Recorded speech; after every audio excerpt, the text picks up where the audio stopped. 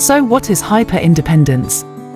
On one hand, it can give the impression you are a confident person who is capable of dealing with everything the world throws at you.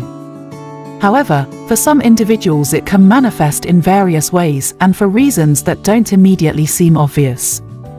One common response inducing hyper-independence can be a survival mechanism to deal with a past trauma, and by developing the heightened sense of independence, it acts as a coping mechanism seemingly sufficient to deal with the trauma.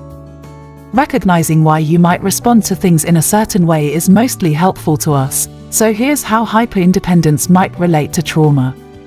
Traumatic experiences can lead individuals to feel a loss of control over their lives. In response, they may adopt hyper-independent behaviors as a means to regain a sense of control over their circumstances. And some people become hyper-independent as a way to protect themselves from being vulnerable to others, especially if they have experienced betrayal or harm from people they trusted. Hyper-independence can also be a way to avoid revisiting painful memories or emotions associated with the trauma. By focusing solely on themselves and their own abilities, individuals may try to distance themselves from past experiences, but this can really have a bad side effect in that it can slowly remove the person from society norms.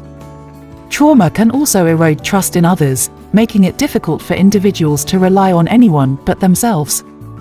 Hyper-independence can stem from a fear of depending on others and a belief that one can only truly rely on oneself, and regardless of this being a realistic assessment or not.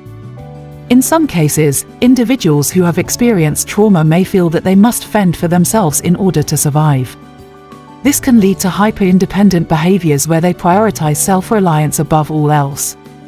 However, it's important to note that while hyper-independence can serve as a coping mechanism in the short term, it may not always be healthy or sustainable in the long run and as YYZ Bruce personally found out.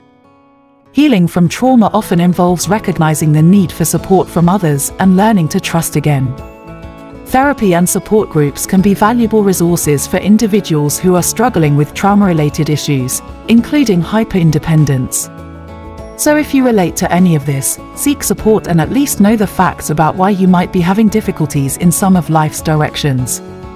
We hope this has been helpful, but until next time, see ya!